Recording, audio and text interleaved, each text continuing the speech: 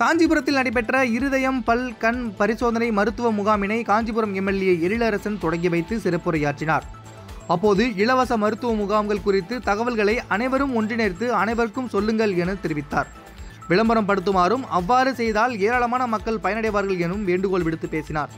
அனைத்து ரோட்டரி சங்கங்கள் இந்திய பல் மருத்துவ சங்கம் ஆகியவை இணைந்து நடத்தும் இம்முகாமில் இருதய நோய் இரத்த அழுத்தம் இரத்த சர்க்கரை இரத்த பரிசோதனை பல் சிகிச்சை இசிஜி எக்மோ கார்டியோகிராம் டிஎம்டி கண் மருத்துவ பரிசோதனை உள்ளிட்ட பரிசோதனைகள் மேற்கொள்ளப்பட்டு ஆலோசனைகள் மற்றும் சிகிச்சைகள் வழங்கப்பட்டன. இந்த முகாமில் முன்னூறுக்கும் மேற்பட்டோர் கலந்து கொண்டு பயனடைந்தனர்.